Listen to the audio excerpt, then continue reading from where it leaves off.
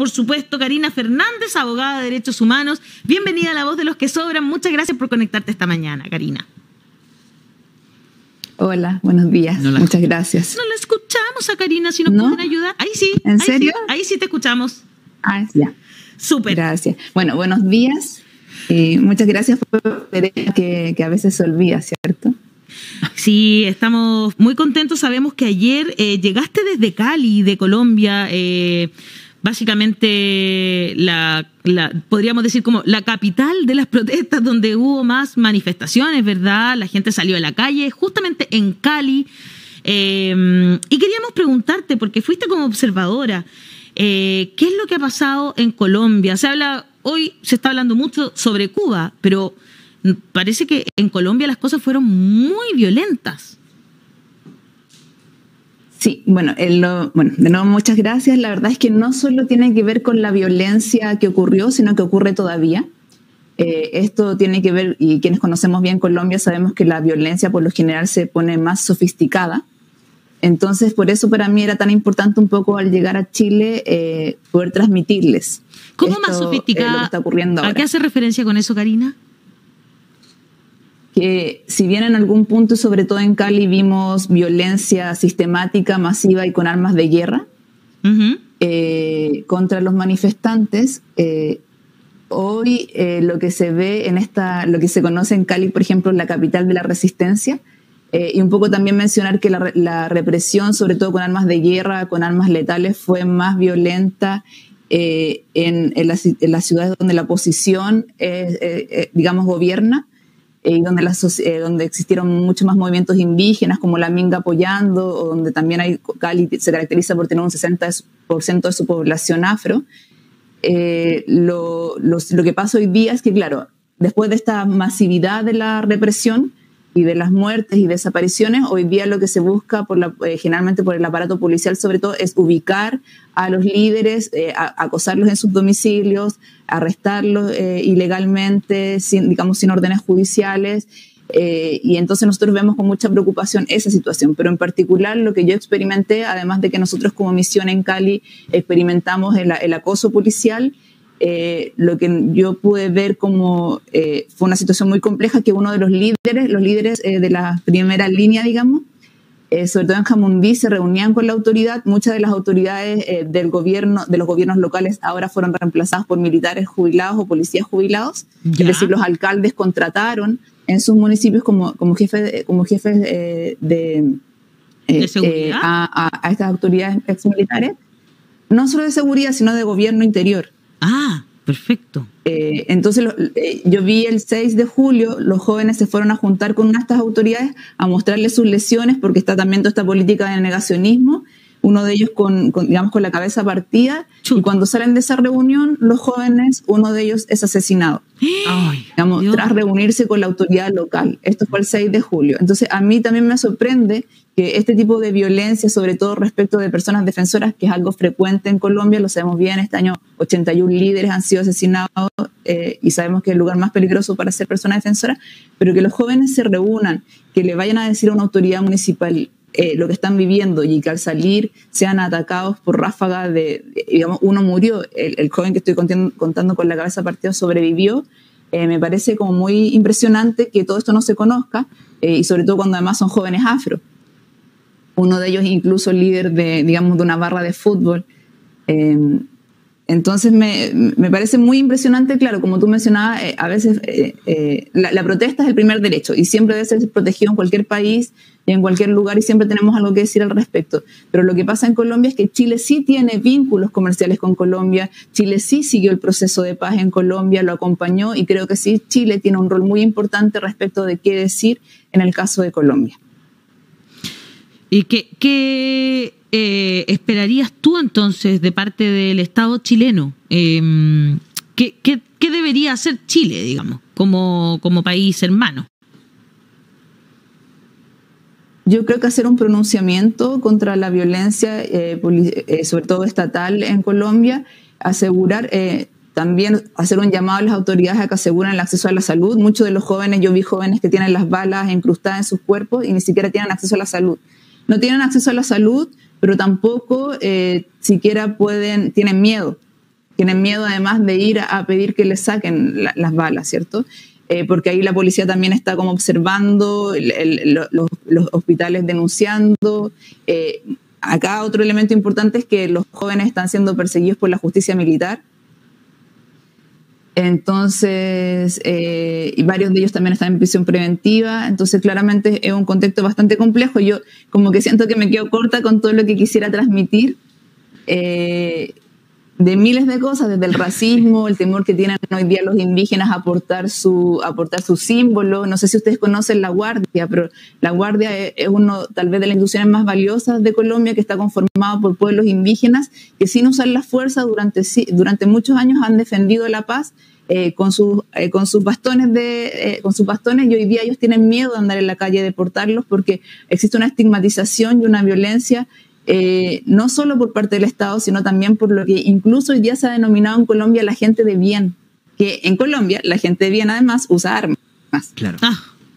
Muchos de ellos provienen del mundo paramilitar, entonces no es como, digamos, este, este proceso de estigmatización, y bueno, acá en Chile también ocurre, ¿cierto? Eh, el lujo de atropellar a una chica en una barricada, como fue el caso de Ángela, asesinarla porque hay una, una, una un discurso desde el Estado de que las personas son violentas. Hace años cuando yo iba a Colombia, las personas defensoras decíamos, decían que éramos guerrilleras, que defendíamos a los guerrilleros. Hoy día quienes somos defensores de derechos humanos en Colombia nos dicen que defendemos a saqueadores, a delincuentes. Eh, yo estuve en, el punto, en el puerto de resistencia en, Colombia, en, en Cali, y, y, creo que son jóvenes que hoy día tienen como que están dando una batalla importante, que están tratando de visibilizar el hambre, la desigualdad, eh, bueno, como les digo, son muchos temas. También hubo empresas involucradas en el caso de Colombia. Se, denunciaron secuestro y tortura en centros como el éxito que es un, supermercado. Disculpe, Karina, eh, uno de los problemas que hemos tenido en Chile es el tema de los números. Eh, yo cuando tengo algunas conexiones con Colombia, entonces estuve conversando y la última, en las grandes protestas tenían 19 muertos, por lo que me acuerdo, y 400 heridos. Esos números han subido. ¿Cuál dirías tú era lo, lo último? No sé si después... Mm, la, Sí, la verdad es que no, no me gustaría dar cifras. Nosotros ahora sacamos el informe y la verdad es que uno tiende, eh, la idea, los derechos humanos tienen que ser una luz en la oscuridad y en general eso se ha interpretado como entregar cifras, ¿cierto? Pero pero el, tema es que las autoridades eh, son las obligadas, ustedes lo saben bien, porque además acá han discutido mucho el tema de la prisión política en Chile, ¿cierto? Y la ausencia de cifras. La verdad es que la ausencia de cifras se, se mantiene también en el caso colombiano, pero es más grave porque, por ejemplo, solo quisiera visibilizar que en Colombia los indígenas y los afros no están bien, siquiera bien cifrados. O sea, el censo se manipuló y se cambiaron las cifras de, personas afro para, para para disminuir eh, el otorgamiento de beneficios hacia los eh, hacia, los, hacia, las personas. Hay un subregistro, hay un subregistro completo, tanto de muertes, porque además la muerte es mucho más violenta, eh, o sea, es, continua en Colombia. Entonces, es fácil que las personas no denuncien por temor, que no digan que su familiar fue asesinado. Entonces, y eso pasa porque la Defensoría también no está haciendo su, trabajo. Acá hay un problema también de instituciones democráticas en, en, Colombia, donde la Fiscalía, la Defensoría, la Procuraduría están eh, siendo dominadas por el aparato, eh, eh, digamos, de gobierno y entonces no tenemos tampoco acceso a cifras. Entonces yo no me quiero atrever, te puedo decir simplemente que las cifras que tú diste son las iniciales, que ah, están en aumento y que eh, lamentablemente nuestro foco hoy día es decir justamente que hay subregistro, que no están las cifras, que el gobierno no está cumpliendo con su obligación de dar a conocer las cifras oficiales, pero que también yo vi muchas víctimas con, de verdad, con balas en el cuerpo. Hay víctimas con balas, eh, hubo muchas balas en, en, en, la zona, en la médula, Oh. de gente que no se atreve a denunciarlo, que, que tienen miedo. Entonces, también creo que nuestra obligación es decir que hoy día no podemos hablar de cifras a raíz justamente de lo que significa la violencia estatal en sí misma. La gente no confía bajo ninguna circunstancia en denunciar. El Estado chileno está, perdón, en este momento, es que estamos conversando y es como ya llega a, como ah, que... Última noticia. claro, breaking, news. Claro, eh, está hablando eh, aquí, Alamán, si no me equivoco, ¿no? Así, ah, sobre Cuba, asumo. Gobierno llama a respetar las protestas en Cuba. Andrés Alamán, ministro de Relaciones Exteriores. ¿Qué te parece que Chile se manifieste sobre Cuba y no diga nada sobre Colombia? Como, yo decía, el derecho a la, protesta, muchas veces decimos que es el primer derecho. Eh, yo varias veces cuando hablo ahora de la Constitución, digo que la Constitución solo debería tener un derecho, que debería ser el derecho a la protesta, porque es el que nos permite defender todos los otros derechos. Entonces siempre hay que criticarlo, o sea, siempre hay que criticar toda, eh, toda atentado contra la protesta. Pero lo que pasa, como yo decía, la obligación de los derechos humanos es poner luz en la oscuridad. Respecto de Cuba, todo el mundo siempre está mirando Cuba. Cuba es un país que tiene bloqueo, que tiene, eh, que tiene una comunidad internacional que siempre está observando, mirando. Eh, hay distintas organizaciones muy importantes como Rise and Equality que están siempre presentes también haciendo un monitoreo. La Comisión Interamericana sacó recientemente y saca periódicamente un informe respecto de Cuba, para el que vamos a hablar del informe anual de, ¿cierto? del Departamento de Estado norteamericano. Pero lo que pasa es que pasa en estos gobiernos, ¿qué pasa en los gobiernos donde hay negacionismo, donde eh, sí tenemos una, porque nosotros no, tenemos relaciones económicas con Cuba y sí las tenemos directamente con Colombia, como yo decía, nosotros acompañamos el proceso de paz y además tiene que ver con los inversionistas. Hoy, día también nosotros en nuestra misión en SOS Colombia hacemos un llamado a la inversión extranjera. ¿Por qué invierten en un país donde se asesina gente, donde se asesina a personas defensoras? Para nosotros es muy importante el hecho de que eh, Colombia es el país más peligroso para ser defensor de derechos humanos, pero no para invertir. Claro. Es que el tema con Colombia. Entonces, eso es muy contradictorio. Dos preguntas. Colombia siempre ha sido un país súper dividido y hemos visto mucha protesta a nivel rural. Que al final una guerra civil, entonces el, de hecho, si uno mira el plebiscito, la votación a favor del proceso de paz están en las zonas rurales que están más sufriendo por la guerrilla. Y la votación en contra es urbana y está en lugares donde están súper apartados. Pero parece que en las protestas recientes hay una nueva ola de movilizaciones que son urbanas y son de personas que tradicionalmente no protestan. Entonces quería preguntar primero por el cambio sociológico en la protesta, si se ve algo más general. Y otra pregunta vinculada con eso es que yo participé con la Berta Fríes, que es una víctima de, la FARC, de hecho, que después empezó a tender puentes a la FARC y tratar de hacer como una, um, una unidad nacional en base de la reconciliación. Y hicimos un evento entre víctimas del estallido en Chile y en Colombia. En Colombia la diferencia es que no escuché nada de esperanza. En Chile ya fue terrible, sufrimos mucho, pero hay un, camino. En Colombia la única cosa que escuché fue una visión de, de, desesperación total. Entonces, ¿es distinta la protesta hoy día y hay algo de esperanza? Es distinta la protesta porque está marcada por el hambre y los ah. niveles de desigualdad. Y, el hambre, me, gustaría tenerme ahí un segundo porque, como dice Marta Sen, eh, el hambre es lo que demuestra que un gobierno no es democrático. Ningún gobierno democrático permitiría que un porcentaje de su población pase hambre y muera de hambre, como lo hizo el colombiano. Y eso también, y, recordemos, en un país donde hay, donde hay segregación y donde hay mucho dinero y, digamos, y, empresas petroleras, activistas y, bueno, todo lo que significa la acumulación por despojo, que en ese sentido yo sí creo que tienen como un punto común con Chile, que tiene que ver con, con esto de reclamar frente a una desigualdad fuertemente sostenida. Y además, como tú mencionabas también, eh, un proceso que ha significado el genocidio, el etnocidio y una serie de, de otros elementos en el, en el, contexto colombiano. Entonces acá eh, vemos como la juventud, como nuevo actor, es el que se revela, el que sale a la calle, el que realiza puntos de resistencia. Los puntos de resistencia también son muy distintos a Chile, a los bloqueos simplemente porque, porque además hay, de nuevo, el factor empresarial, el, bloquear en los caminos, eh, incluso en, en pueblos muy pequeños hubo gran represión a bala, de nuevo, con armas letales.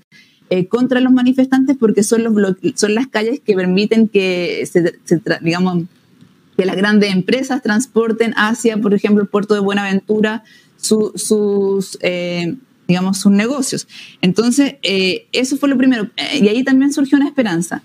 Surgió una esperanza muy importante para mí, por lo menos de, mi perspectiva, que fue ver cómo la minga y los indígenas que no estaban contemplados en el, en el, en el petitorio del paro se unieran al pueblo que dejaran las comunidades eh, y se unieran a la ciudad para, para proteger a los jóvenes que estaban manifestándose. Eso fue tal vez lo más esperanzador que hemos visto del proceso y también ciertos elementos de solidaridad. Yo vi como joven, eh, como personas que, eh, digamos, mucha gente que genera alimentos llevaba hacia los jóvenes el alimento, incluso en los momentos actuales, con todas las que muchos pequeños empresarios tienen frente a la quiebra, ellos van y, y también apoyan en los equipos de salud los equipos de salud que también pasó en Chile, es realmente impresionante en la colaboración y la valentía con la que actúan, incluso bajo ráfagas de, de, de bala, incluso con cadáveres eh, eh, de personas que ellos mismos conocían eh, enfrentando corte de luz. Yo creo que esa solidaridad hacia algo, la iglesia, la iglesia metodista, creo que esos elementos de solidaridad han sido muy valiosos y en cierta forma esperanzadora. Muy bien, qué, qué interesante ha sido conversar contigo esta mañana, Karina. Te queremos agradecer esta entrevista para aclararnos que en Colombia las cosas no están tranquilas y que siguen muriendo, ¿verdad? Eh, los defensores y defensoras, eh, lamentablemente. Así que vamos a estar pendientes de lo que pase ahí. Como programa eh, tenemos esa misión también, mostrar lo que pasa en nuestros países hermanos, en todos, sin sesgo. Eso, eso es súper importante. Solo un segundo para sí, una idea final, perdón. no te preocupes. El 20 de junio nos preocupa mucho a todas las personas defensoras que participamos de la misión que el 20 de junio es, el, es como nuestro 19 de septiembre, que es cuando las Fuerzas Armadas salen a la calle de la ciudad como a mostrar su nivel de armamento. ¿Ya? Eh, porque es como la fiesta nacional. Y el 20 de junio hay convocada una protesta también en Bogotá de distintas organizaciones, incluso las juveniles que se están moviendo hacia Bogotá ahora. Y el presidente ayer acaba de informar que ese mismo día va a presentar el, proyecto de eh, Tributario 2. Chuta. Entonces tenemos mucho temor con lo que puede pasar ese día. Eh, entonces, que, a través de, este programa que, que, ayuda tanto en la conciencia a nivel nacional, que podamos como decir que hay que estar mirando y decirle al ministro de Relaciones Exteriores que hay que estar mirando ese día lo que pasa en Bogotá. Muy bien, vamos a estar pendientes entonces mirando lo que sucede ese día ahí en Bogotá el 20 de junio. Muchas gracias Karina, un abrazo enorme para ti. Que estés muy bien. Chao, chao. Ahí estaba eh, abogada de derechos humanos conversando con nosotros esta mañana, recién, pero recién llegada desde Bogotá, Karina Fernández.